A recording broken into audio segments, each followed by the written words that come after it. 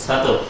Bismillahirrahmanirrahim Assalamualaikum warahmatullahi wabarakatuh Selamat bertemu kembali kepada saya Dr. Nanti Sugeng Widada MSI ingin menyampaikan materi mengenai nirmana perkuliahan pertemuan kedua dalam pertemuan kedua saya akan bahas mengenai orientasi masih di mata kuliah Nirmana Wimatra Adapun unsur-unsur elemen dasar seni rupa di antaranya titik, garis, dan ruang. Yang pertama titik, yang kedua garis, yang ketiga ruang atau bentuk atau sape. Yang pertama titik. Perlu kita ketahui dulu pengertian titik adalah suatu jejak atau bekas tekanan suatu dari suatu benda, alat tertentu, atau merupakan unsur elemen seni rupa yang paling sederhana. Ada yang bentuknya titik kecil ada yang titik besar titik yang bentuknya oval bentuknya kotak kotak dimiringin. Yang jelas di situ tergantung daripada suatu benda yang nantinya akan kita pergunakan sebagai jejak untuk membuat titik. Wujud visual titik seperti yang saya sampaikan tadi sangat bervariasi tergantung daripada bentuk dasar benda atau alat yang digunakan untuk memberikan tekanan pada permukaan suatu bidang. Jika wujud titik dihasilkan dari jejak suatu benda, namun titik maupun garis sebenarnya bisa dibuat dari suatu bidang yang dibentuk dari garis sesuai dengan kebutuhan pengembangan kreativitas untuk menghasilkan karya seni tersebut. Adapun wujud titik secara visual sangat bervariasi.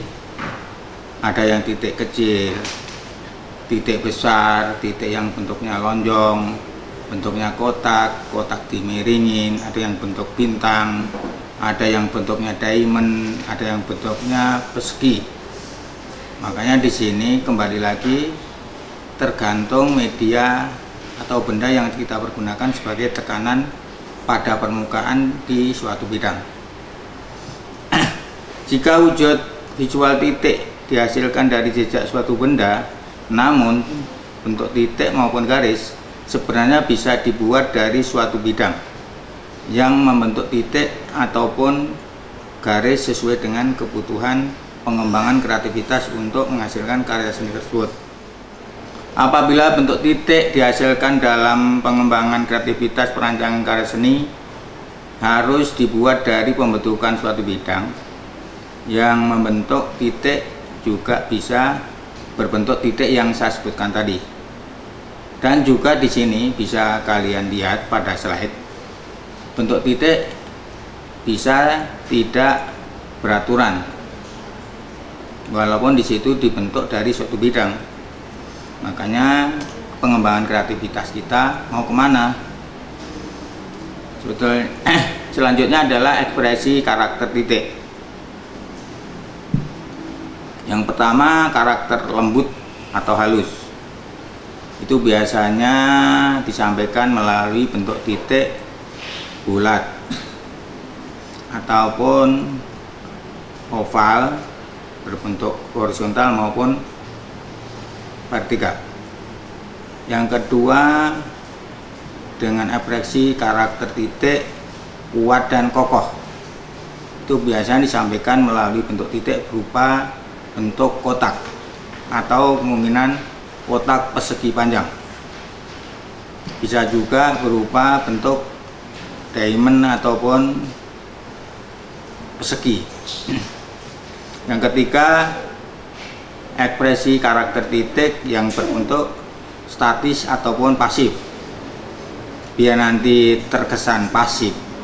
Makanya titik yang kita pergunakan bentuknya condong tidak memberikan suatu apa ya bentuk gerakan. Makanya bentuknya bisa titik bulat. Makanya di situ dapat dikatakan bentuk bulat itu statis dan bentuk kotak yang di situ kotaknya persegi bisa kotak persegi panjang dan diamond. Yang keempat adalah bagaimana bentuk titik biar bisa memberikan ekspresi karakter titik yang dinamis. Titik tersebut akan kita buat dengan bentuk bintang misalnya atau bintang 5, bintang 4, bintang 7, bintang 6 tergantung daripada variasi kita. Yang kelima mengenai ekspresi atau karakter titik yang ekspresif. Seperti yang kita lihat pada slide tadi ada yang bentuknya tidak beraturan, ada yang seperti durian, ada yang bentuknya di situ memang tidak beraturan. Kadang-kadang juga titiknya dari kecil ke besar berulang-ulang. Selanjutnya adalah mengenai elemen perancangan karya seni berikutnya berupa garis ataupun yang disebut line. Makanya garis atau line itu sendiri pengertiannya apa? Setiap orang bisa menyampaikan suatu bentuk lain itu atau garis itu mudah tapi dalam pelajaran nirwana ada definisi yang di situ mesti harus apa ya terdefinisikan secara teoritis garis adalah suatu goresan atau kumpulan titik-titik yang memanjang atau juga dapat disebut batas limit suatu benda masa, ruang, warna, dan lain sebagainya.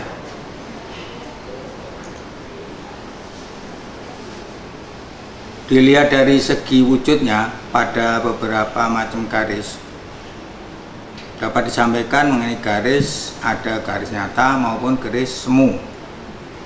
Berarti garis dari segi wujudnya terdapat dua jenis garis. Yang pertama garis nyata dan yang kedua garis semu apa itu garis nyata secara visual dapat dibuktikan dengan indera penglihatan itu garis nyata.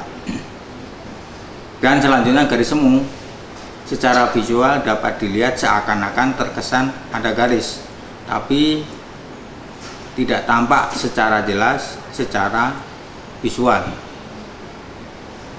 Makanya semu.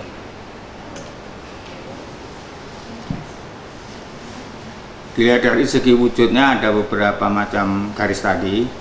Di sini bisa dilihat contohnya garis nyata itu bisa garis diagonal, bisa garis lengkung, bisa garis lengkung tidak beraturan, dan garis patah. Sedangkan kalau garis semu bisa kita bayangkan kalau kita sendiri melihat pemandangan gunung di pagi hari seakan-akan di atas gunung itu terbentuk garis tapi kenyataannya tidak ada sebetulnya. Hanya seakan-akan terlihat ada garis. Penjelasannya seperti gambar yang ada di slide. Berikutnya adalah yang saya sampaikan tadi terdapat garis benda. Kita akan melihat bentuk benda. Itu biasanya akan terbentuk dari garis yang membentuk benda tersebut. Bisa garis yang berupa kotak. Katakan di sini kubus. Bisa berbentuk kubus berarti kotak tadi panjang pendek tinggi dan lebarnya sama panjang. Yang ketiga karya yang ketiga benda berupa benda limas dan di situ memiliki ketebalan misalnya.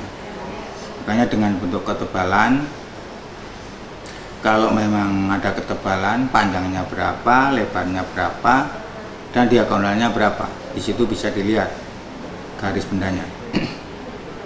Selanjutnya adalah garis pupus yang di situ mungkin akan posisinya di miringin dan garis yang membentuk bintang garis membentuk bintang adalah merupakan garis bintang selanjutnya garis ruang seperti yang kalian lihat di sini ada ilustrasi mengenai bentuk ruangan. Bisa membentuk ruang itu terdiri dari beberapa garis yang dapat dilihat secara visual berupa garis ruang di situ. Dan secara sederhana, yang kedua adalah contohnya garis yang membentuk sebuah benda berbentuk kotak.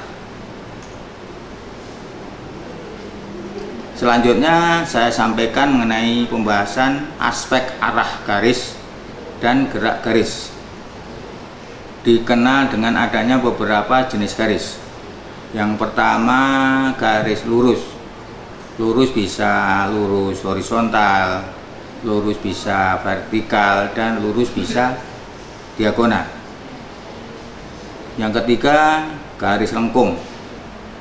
Seperti yang saya sampaikan di muka tadi, garis lengkung bisa lengkung beraturan, apabila di situ akan kita gandakan dari bawah sampai ke atas atau kiri sampai ke kanan itu nantinya akan berurutan normal di situ. Artinya di situ bentuk garis bentuk garisnya yang jelas di situ bentuk garis yang normal.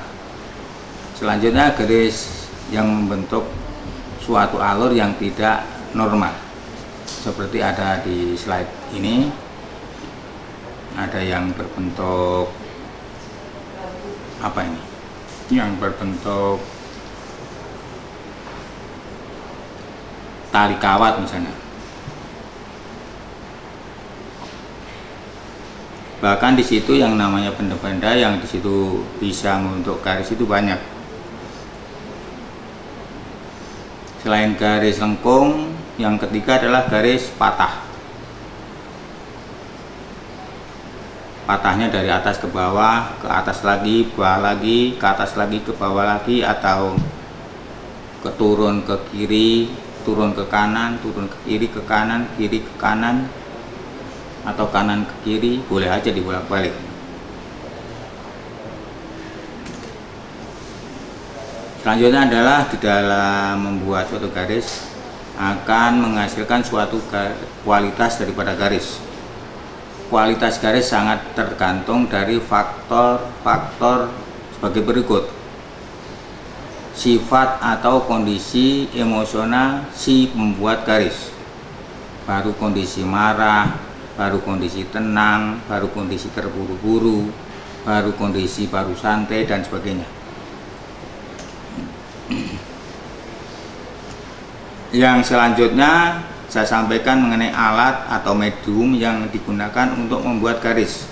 Bisa besar, bisa kecil, bisa kaku, bisa lentur. Apabila menggunakan media yang besar tentu dapat menghasilkan garis yang besar. Selanjutnya kalau kita mediumnya kita pergunakan dengan medium yang kecil akan menghasilkan garis yang kecil tentunya. Selanjutnya kesan. Dalam membuat garis itu kesannya bisa kaku. Karena medium yang kita pergunakan yang jelas mungkin kaku keras sebaliknya bisa juga kita hasilkan dari benda-benda yang di situ sifatnya lentur atau lembek makanya bentuk garisnya kemungkinan di situ kelihatan sekali bahwa garis tersebut lentur atau elastis belok-belok.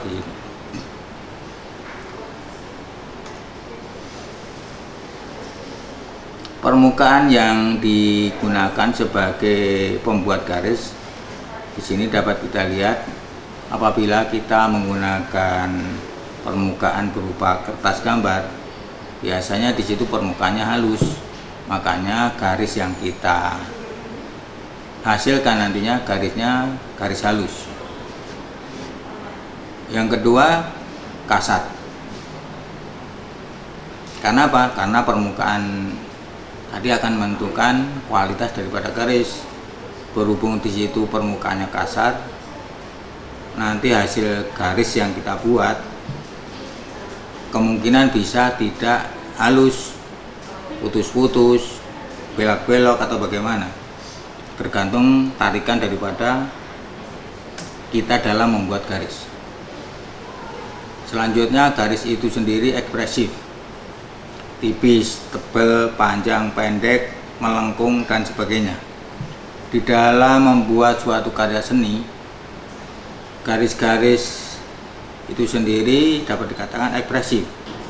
Kembali lagi konsep kreativitas yang nantinya akan kita buat apabila kita sendiri membutuhkan garis yang panjang tentu tarikan kita panjang tapi kalau di situ memang hanya cukup dengan tarikan-tarikan yang pendek akan menghasilkan garis yang pendek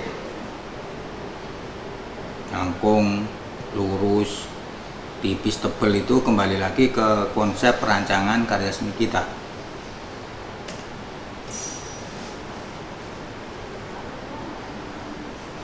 Garis dapat menunjukkan gerak emosi si pembuatnya. Seperti tadi sudah saya sampaikan di posisi emosional garisnya si pembuat garis baru posisi marah, takut, lemah, kuat dan sebagainya. Di situ nanti akan menghasilkan suatu garis sesuai dengan tingkat emosional daripada si pembuat garis. Bisa juga di situ garis sendiri mempunyai apa ya? Irama. Iramanya garis bisa terkesan kaku bisa terkesan tajam ya makanya di sini kembali lagi pengamatan di dalam pembuatan garis tadi selanjutnya akan saya sampaikan pembahasan mengenai asosiasi emosional garis. Yang pertama mengenai asosiasi emosional garis horizontal. Bisa kita lihat di slide bahwa garis horizontal itu asosiasi emosionalnya tenang, kalem, pasif, bahkan dapat dikatakan kesannya mati karena posisinya horizontal. Sedangkan kalau di sini garis tadi kita kondisikan vertikal, kesannya bisa asosiasi emosional garisnya bisa stabil karena dia posisi berdiri. Bisa disampaikan mengenai asosiasi emosionalnya megah, aktif, kokoh. Karena seakan-akan objek garis tadi bisa berdiri Selanjutnya mengenai asosiasi emosional garis vertikal atau diagonal. Di situ merupakan movement, gerak.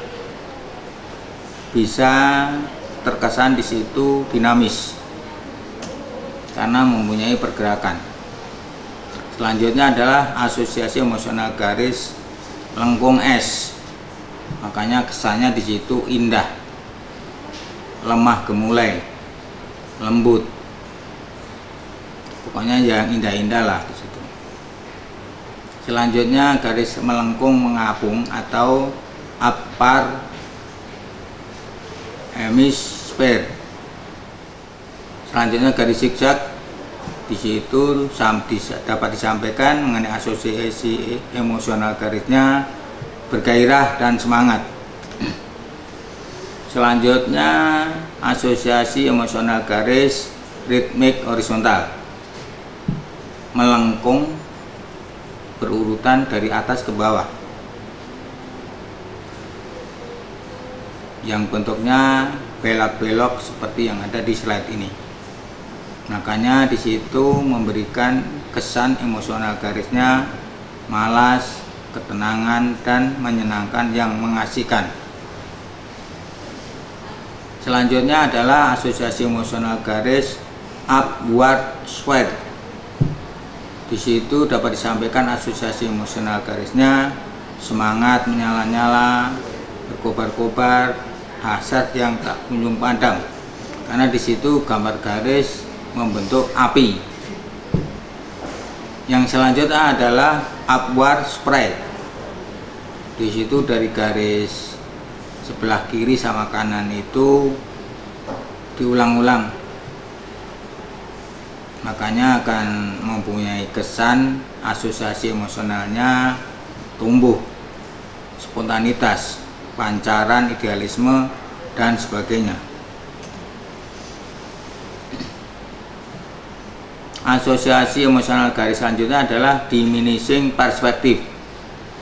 Gambarnya ada garis horizontal, ada garis perspektif.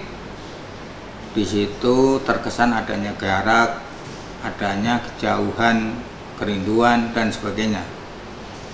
Selanjutnya adalah inverted perspektif. Keluasan tak terbatas karena di situ terbentuk dari garis yang membentuk perspektif dan garis dasar horizontal bisa dapat disampaikan mengenai asosiasi emosional garis selain keluasan tak terbatas kebebasan mutlak kelebaran tak terhalang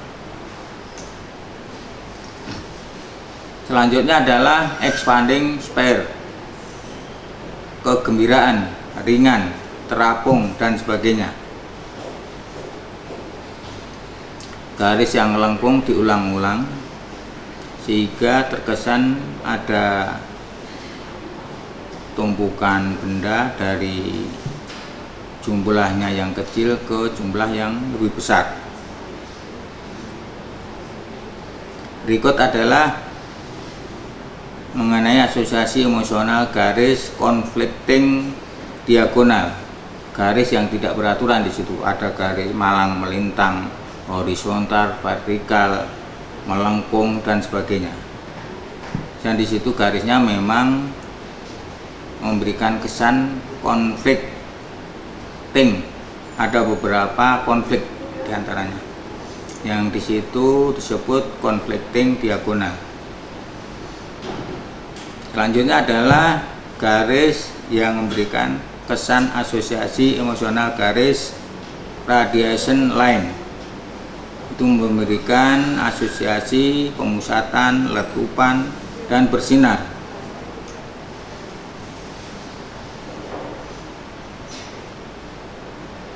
Selanjutnya adalah asosiasi emosional garis waterfall air terjun memberikan kesan penurunan yang berirama, gaya berat, dan sebagainya.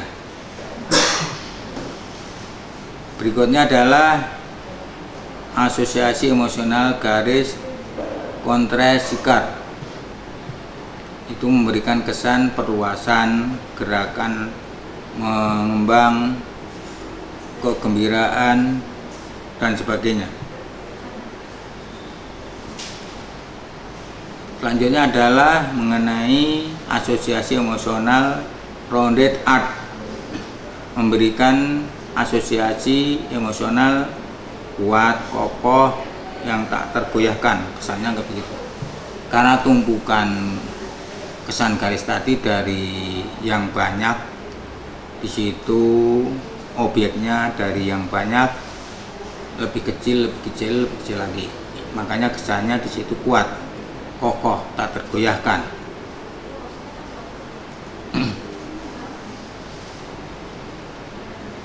Selanjutnya adalah ritmik kurva.